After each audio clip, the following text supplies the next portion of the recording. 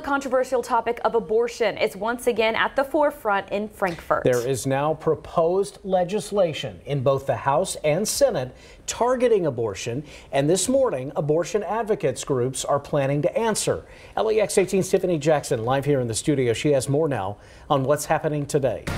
The ACLU of Kentucky, Planned Parenthood advocates of Indiana and Kentucky, and other allies will hold a news conference this morning inside the Capitol to demand that the General Assembly stop the abortion bans. They are specifically talking about Senate Bill 9, which was introduced on the opening day of this legislative session. That bill would ban most abortions after a heartbeat is detected, which is around six weeks. The ACLU says that is before some women even know that they are pregnant. A similar bill was pre-filed filed in the House a few weeks ago.